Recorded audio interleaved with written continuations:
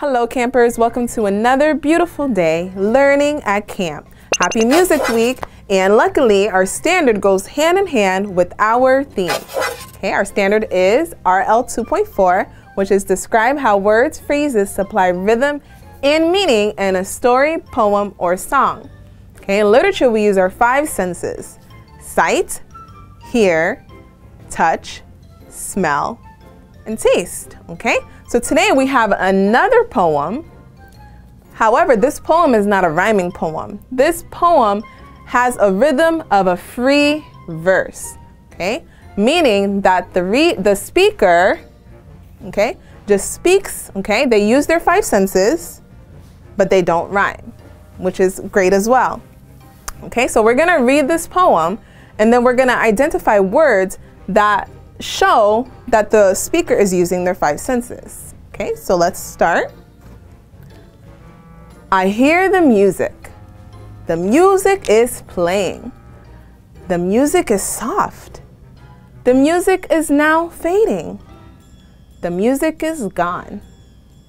No music, no fun. Come back to me, music. The music is beginning. The music is pretty. The music is wonderful. Oh no, the music is fading again. I love the music. Okay, so let's go back to the beginning.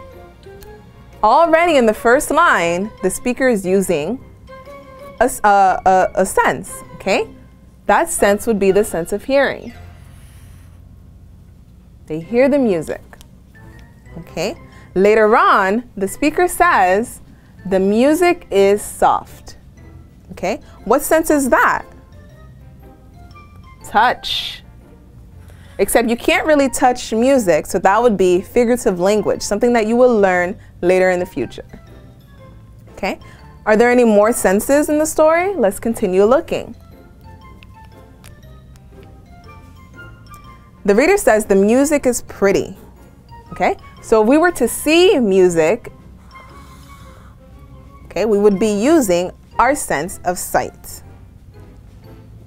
Okay, oh no, the music is fading. If you can't hear the music anymore, it's fading, then you are using the sense of hear. Okay, and this poem is by Catherine Thompson. Okay, that is it for today, readers. And um, remember to always believe in yourself, and I will see you soon.